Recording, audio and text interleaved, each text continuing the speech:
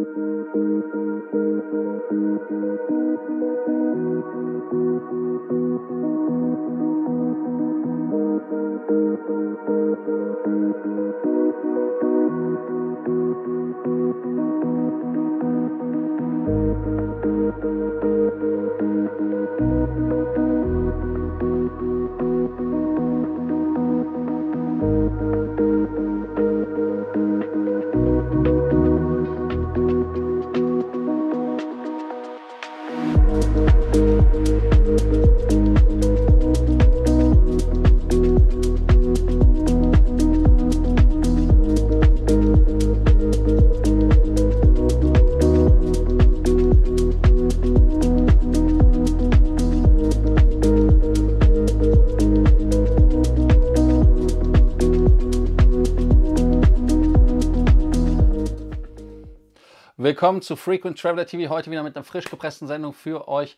Heute das Thema natürlich der Streik, aber auch ein Themenschwerpunkt ist Boeing. Äh, Boeing CEO hat gesagt, man möchte sich jetzt mehr auf das Flugzeug konzentrieren, anstatt auf Gewinne. Naja gut, wenn kein Gewinn da ist, ist da halt auch kein Gewinn. Und äh, was auch ist, die 777X wird wieder gebaut. Und wir haben ein ja, einen Rechtsstreit in den USA, wo ein Paar eine Million Meilen vom American Airlines Advantage Club Tabula Rasa bekommen hat, heißt also aus dem Club ausgeschlossen wird. Sie wollen das wieder ändern. Und bei Boeing hätte ich fast vergessen, es gibt auch Mitarbeiter, die sagen, also Ex-Mitarbeiter, die sagen, mit einer 737 MAX würde ich nicht fliegen. Dazu haben wir die passende Fragen des Tages, die ich mir ausdenken werde während der Sendung, weil mir gerade auffällt, ich habe sie nicht aufgeschrieben, aber ich weiß sie so ungefähr, kein Stress. Ihr wisst ja auch an dieser Stelle, was ihr zu tun habt. Ihr müsst den Kanal wie immer an dieser Stelle ähm, abonnieren, dann natürlich Kanalmitgliedschaft oder an einem Stammtisch teilnehmen. Stammtische haben wir am 19. in Frankfurt, am 20. Aachen, am 21. am Köln und wieder am 7. März in Frankfurt. Und ich bastle an einem Stammtisch in Zürich, nur damit ihr es wisst. Und Tallinn haben wir auch. Den Link unten in den Show Notes. Ich werde den vielleicht auch in die Kommentare schmeißen, damit ihr den direkt seht. Ich meine, in die Kommentare schmeißen, mache ich. So, das erste Thema, was wir haben, ist das Thema äh, Lufthansa Streikauswirkungen, weil wir haben einige Kunden, die wir umbuchen mussten und die umgebucht wurden von Lufthansa. Und die ähm, Nachricht an alle Horn Circle zuerst, die FCT in Frankfurt ist geschlossen. Also das heißt, der Sidestep, den man machen konnte, der geht nicht, weil die FCT halt auch geschlossen ist. Beim letzten Streik war die FCT noch offen und äh, damit ist halt wirklich auch der Flughafen lahmgelegt. In Frankfurt gibt es nur Transit. Wir haben Gott sei Dank einige Kunden gehabt, die wir überzeugen konnten, billigere Tickets zu kaufen aus Amsterdam auf Stockholm und so weiter, die zumindest die Chance haben, im Transit durchzukommen. Ich bin mal gespannt, was es dort für Berichte gibt, weil wir haben zum Beispiel im Moment einen Kollegen, der schaut, wie es ist im Transit. Und zwar, ähm, der ist gerade gelandet aus Amsterdam und ich bin mal gespannt, was es dort äh, äh, zu sagen gibt, ob er das schafft zu seiner Verbindung nach Bogota. Also es bleibt spannend. Aber nichtsdestotrotz ist es halt wirklich ärgerlich. Ich gucke gerade, ähm, ob eine Nachricht von ihm gekommen ist.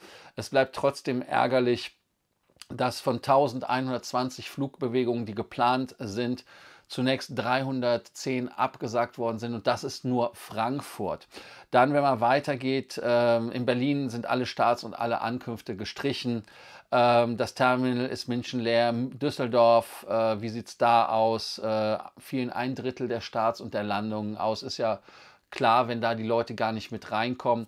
Äh, dann die nächste Sache ist, ähm, dass der Flughafenverband ADV insgesamt rund 1100 Flüge äh, ausgefallen sind in seinen Augen und auch äh, dort ähm, dann 200.000 Passagiere betroffen sind. Also da sieht man mal die Zahlen, die dahinter sind. Und ähm, am Freitag soll ein normaler Flugbetrieb dann wieder möglich sein, aber dann wisst ihr ja selber, wie lange es dauert, bis man das Ganze wieder hochfahren kann. Die Verdi selber sagt, äh, dann ist der nächste Warnstreik äh, vom Verdi geplant bundesweit im öffentlichen äh, Nahverkehr. Also das heißt mit den Bussen und Bahnen hoffe ich nicht, dass das zu Riesenproblemen wieder führt. Was soll man dann sagen? Es geht hier natürlich um 2,8 Euro mehr Lohn. kann ich verstehen auf der einen Seite und natürlich um höhere Funktionszulagen, mehr ähm, äh, Mehrarbeitszuschläge ab der ersten Überstunde. Das sind alles Sachen, die natürlich berechtigte Interessen da sind, gerade in solchen Themen. Ich weiß nicht, wie ihr das seht, aber da könnt ihr natürlich gerne unten wie immer kommentieren und äh, schreiben. Jetzt lasst uns mal wirklich ähm, schauen, was da bei Boeing los ist, weil das ist ja eine Dauerkrise. Und äh, Boeing ist halt wirklich... Ähm, ich, ich muss ehrlicherweise sagen, nur noch den Kopf zu schütteln, denn äh, die 737 MAX, äh, das ist ein Flugzeug da. Also wenn man da von, von Voodoo redet oder von einem schlechten Lauf redet, äh, dann ist man da echt nicht weit von entfernt bei der Wahrheit. Und ähm, es ist halt so, dass man natürlich bis 2026 die Maschinen auf 50 pro Monat hochpumpen wollte in der Produktion. Äh, das ist utopisch. Die FAA hat das auch ganz klar äh, äh denied, hat gesagt, machen wir nicht. Weil gerade bei der 737 MAX 9er, wo es das Problem gibt mit dem Türstopfen, ich finde das Wort immer geil, es tut mir leid, wenn ich da immer grinsen muss, ähm, hat einfach gezeigt, dass die ihre Kontrolle, ihre Qualitätssicherung nicht im Griff haben. Und ähm, auch ist es so, dass man, der Herr Kalun heißt er, glaube ich, ähm, man wird sich einfach auf das nächste Flugzeug ähm, ähm, konzentrieren, denn das ist letztendlich, was die Leistung bestimmt. Und ja, das ist es. Und es ist für mich ehrlicherweise traurig, dass in einem Bereich, wo es wirklich um Sicherheit geht, wo es um Menschenleben geht, wo Millionen Menschen ihr Leben täglich anvertrauen, ist das Millionen? Muss ja so sein, äh, Millionen Menschen äh, Flugzeugen ihr Leben anvertrauen, dass da halt nicht die höchste Sicherheit Priorität hat. Und das ist schade, denn was nützt es einer Fluggesellschaft wie der Lufthansa, wenn die 737 MAX kauft, aber dann wir so eine Windows-Geschichte haben, heißt also, dass wir dann anfangen müssen, das Produkt beim Kunden zu entwickeln. Ihr erinnert euch selber noch an Windows. Ich bin lange Zeit kein Windows-User mehr. Ich kenne das vom Mac jetzt. Da ist es Gott sei Dank nicht so gewesen oder ich habe zumindest nicht das Gefühl gehabt, dass die Software bei mir entwickelt worden ist. Wenn die Software nicht funktioniert, dann ist ärgerlich. Aber wenn ein Flugzeug kaputt geht und vom Himmel fällt, das ist halt nicht mal eben so, wo man rechts ranfahren kann und sagen kann, hey, Freunde der gepflegten Gastlichkeit, ich habe da mal eine Pause.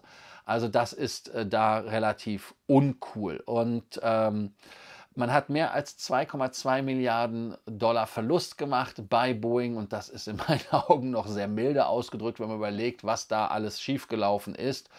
Ähm, man hat zwar 528 Passagierflugzeuge ausgeliefert und Frachtjets, ähm, also 10 Prozent mehr als im Vorjahr. Man hat, ist ja auch durch Regierungsaufträge gestützt worden. Das ist ja auch irgendwo ganz legitim, wenn man da so ein bisschen, ne, sage ich jetzt mal so. Aber es ist in meinen Augen schon schwierig, wenn man ähm, da halt so ein Qualitätsproblem hat.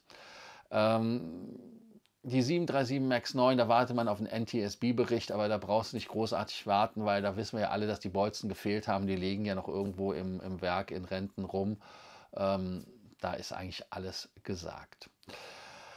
Was auch gesagt ist, und das muss man halt der Ehrlichkeit halber auch sagen, es sind Ex-Boeing-Mitarbeiter, die sagen, sie würden ihr Leben niemals einer ähm, 737 MAX anvertrauen. Und das ist ein Zitat. Ich habe das auf äh, YouTube gesehen, den Bericht. Da, der hat ja auch so eine Safety Agency gemacht. Und äh, Fluggesellschaften wie Ryanair, die halt ausschließlich 737 haben und auch dann die 737 MAX-Flotte permanent vergrößern wollen wegen ihres Wachstums. Dass Michael Lurie natürlich sagt, die Bude ist sicher. Dass Lufthansa sagt, wenn sie 40 mit 60 Optionen gestellt haben, also 100 Stück, dreistellig, ähm, dass die sicher sind, ist ja ganz klar. Aber ähm, wenn man sich das anguckt, ist es so, dass Ex-Boeing-Mitarbeiter und namentlich ist das Ed Pearson und Joe Jacobson, ähm, haben auf jeden Fall äh, da gesagt, dass sie das Angebot von Alaska Airlines wahrscheinlich annehmen würden. Ich schätze ich mal, dass man dort, wenn man eine 737 MAX auf dem Flugplan hat, dann umbuchen kann, kostenlos oder das Geld zurückbekommen kann. Und äh, er sagt, ich habe in der Fabrik gearbeitet, in der sie gebaut wurden. Ich habe gesehen, unter welchem Druck die Mitarbeiter standen, die Flugzeuge schnellstmöglich zur Tür hinauszuschicken. Und er war leitender Manager Und das sagte er halt auch unter dem Aspekt, dass Boeing mittlerweile, und man sieht ja auch, dass deren Zentrale nach Virginia direkt, also nächster Bundesstaat Washington DC, äh, äh, gegangen ist, dass dort halt Geld alles ist. Und ein weiteres Zitat von ihm ist, dass es eine Kultur, in der Geld alles ist. Sie messen den Erfolg daran, wie viele Flugzeuge ausgeliefert wird und nicht äh, äh daran, wie viele Qualitätsflugzeuge geliefert werden. Und ähm, man geht sogar noch weiter zu sagen, dass die MAX 9 äh, da halt äh, ein Sicherheitsrisiko ist. Man ähm, hat auch das Problem damit, wie das Problem bei Airbus gelöst wird, Entschuldigung, bei Boeing gelöst wird, die Probleme bei Boeing gelöst werden. Warum sage ich Airbus? Weil ja Airbus auch auf 75 Flugzeuge gehen will, aber die haben eine Qualitätssicherung, die haben das Problem gelöst, aber Boeing hat es nicht gelöst. Und deshalb muss man halt ehrlicherweise sagen, vielleicht nächste Woche, vielleicht in einem Monat, ähm, wenn das nächste Problem auftritt. Und da ist man halt wirklich äh, nicht vorgefeit. Und äh, ich muss dann ganz ehrlicherweise sagen, ähm, dass das, was in der Los Angeles Times gestanden hat, schon erschreckend ist. Und deshalb die Frage des Tages an euch. Und zwar, kann man Ex-Mitarbeitern trauen? Ist das eventuell so eine Art Rache oder wie es im Englischen heißt, Retaliation? Oder ist es so, dass sie einfach Recht haben? Und wie immer die Frage an dieser Stelle, würdet ihr euer Leben in der 737 MAX 9er anvertrauen oder der 10er, wenn sie denn kommt, der 7er, wenn sie denn kommt und der 8er? Denn eingedenk der Tatsache mit der Enteisungsanlage, die man halt da quasi äh, nicht modifizieren wollte, zumindest nicht so schnell und eine Ausnahmegenehmigung haben wollte, äh, finde ich das durchaus bedenklich. Da könnt ihr auch unten schön kommentieren zur Frage des Tages. Wir haben dann das nächste Thema Boeing 777 MAX. Und die 777 MAX ist natürlich ein Flugzeug, auf das Händering gewartet wird. Lufthansa wartet drauf, Emirates wartet drauf, aber auch ganz viele andere Fluggesellschaften warten drauf, weil sie es einfach für ihr Flottenwachstum brauchen und weil sie halt auch Flugzeuge ähm, äh, beerdigen wollen, um es mal provokativ zu formulieren. Denn jeder 380er bei der Lufthansa, der ersetzt wird durch die 777X am Ende des Tages, wird nicht mehr fliegen. So müssen wir halt ehrlich sein. Das Einzige, was mich da vielleicht so ein bisschen am Leben erhält, und da muss ich an Jens Workshop denken, vielleicht haben wir im Workshop Teile von der 380er, die wir dann uns ins Wohnzimmer stellen können oder ins Studio bei mir. Ich muss mal schauen. Aber es ist so, dass äh, jetzt der ähm, 777X Produktionsanlauf wieder ist und ähm, da muss man halt wirklich gucken, weil man halt auch viele Baustellen hatte. Und es war ja auch nicht die 737, die nur ein Problem hatte, sondern auch die 787 mit diesen Titangeschichten und so weiter, was da los war. Und ähm, dann bin ich jetzt mal äh, interessiert, wie das so läuft. Die äh, Mega Twin 777-9er, wie sie ja heißt, wenn da die äh, anfängt wieder anzulaufen. Aber es ist halt erstmal nur eine Produktion auf kleiner Flamme, wie es heißt.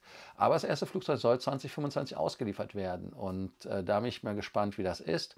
Und ähm, die Wiederaufnahme der Produktion gebe, gebe Zulieferern nun Gelegenheit zu Produktionszielen aufzuschließen.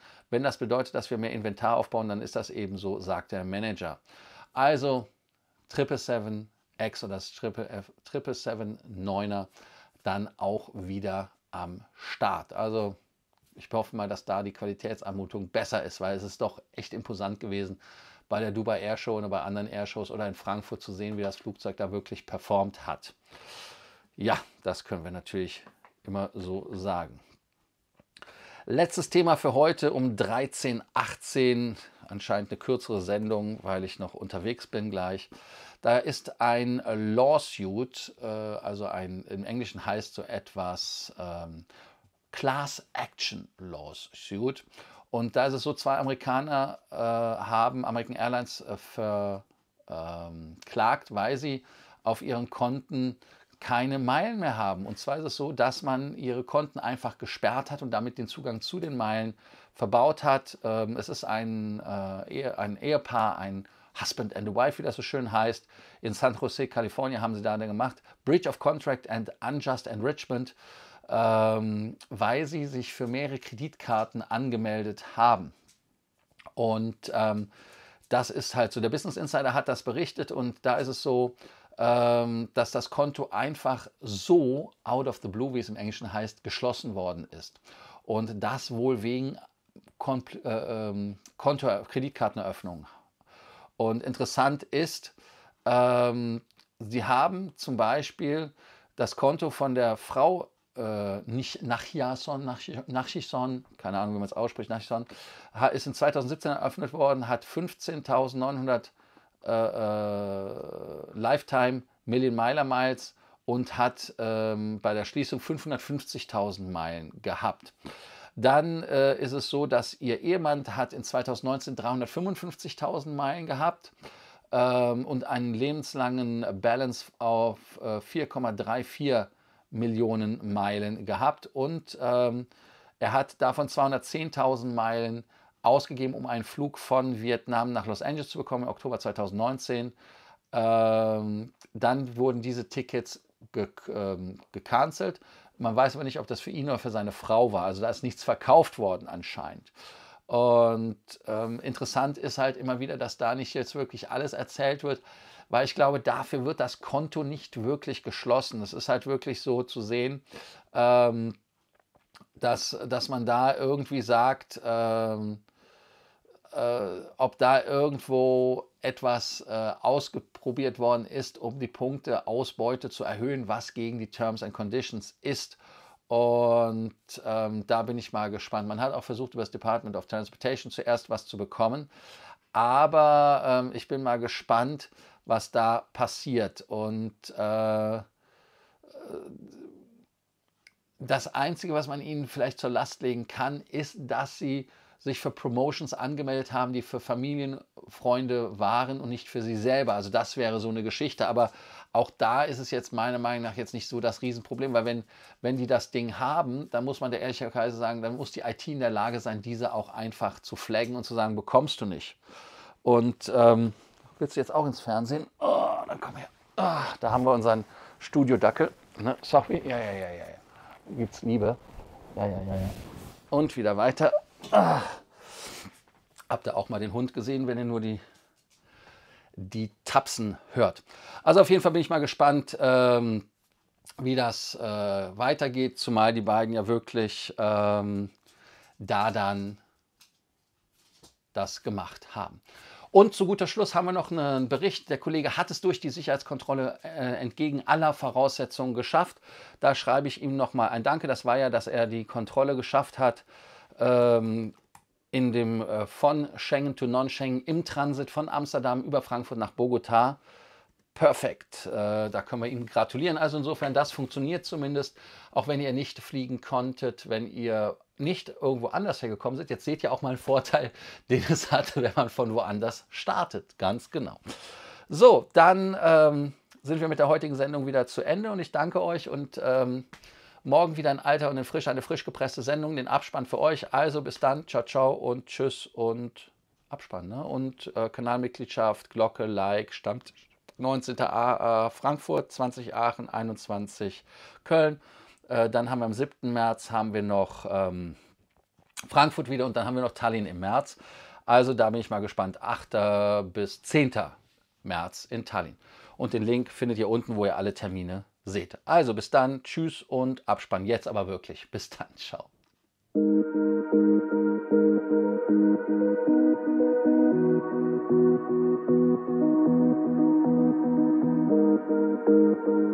Thank